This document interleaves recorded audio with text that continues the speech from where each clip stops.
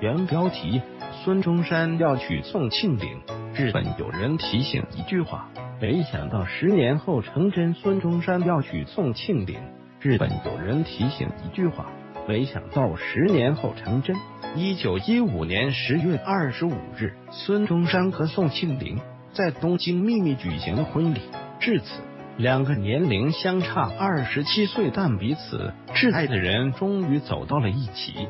然而，孙中山和宋庆龄的结合很不容易，可以说是困难重重。宋庆龄从美国留学回国，途径日本，见到了他一直崇拜的革命导师孙中山。恰逢此时，大姐宋霭龄要和孔祥熙结婚，不能再担任孙中山的秘书。宋庆龄便接替了宋霭龄的位置，成为了孙中山的工作助手。宋庆龄能够熟练的读写英语，工作起来十分认真，对孙中山的革命起到了重要作用。相处一段时间之后，孙中山对这位气质优雅、充满革命热情的小姑娘产生了感情，而宋庆龄对于孙中山无畏和革命精神也十分敬佩，两人情投意合。有了结婚的打算，然而这对于宋庆龄的父亲宋耀如来说是完全不能接受的。一方面，孙中山是他的朋友，两人平日里称兄道弟；另外，孙中山比宋庆龄年龄大许多，而且已经有了妻子，这对信奉基督教的宋家来说完全无法接受。愤怒的宋耀如立刻将宋庆龄带回了上海，并且他关在屋里。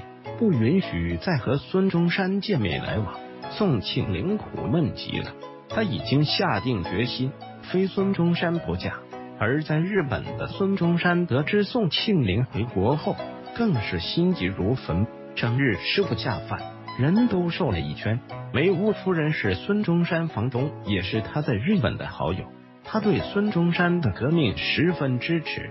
见到孙中山近日心事重重，就直接问孙中山：“你是不是得了相思病？”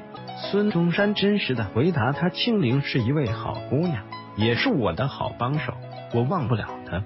遇到她之后，我感到有生第一次遇到爱，知道了恋爱的苦乐。”梅屋夫人被孙中山的执着精神所感动，他说：“想不到你那么爱宋庆龄，我可以帮你的忙，成全你们。”你们在日本的结婚手续，我可以来办理。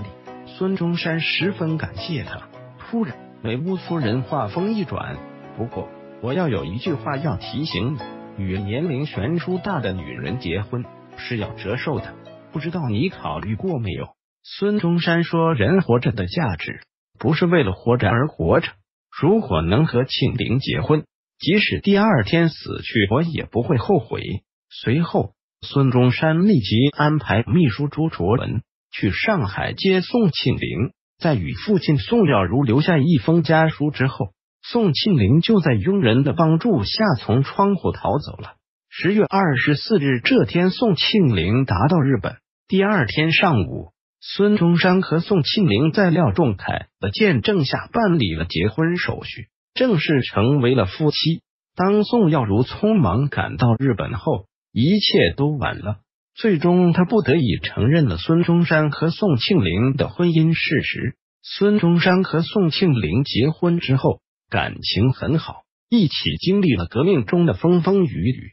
然而，幸福对于他们来说是那么短暂。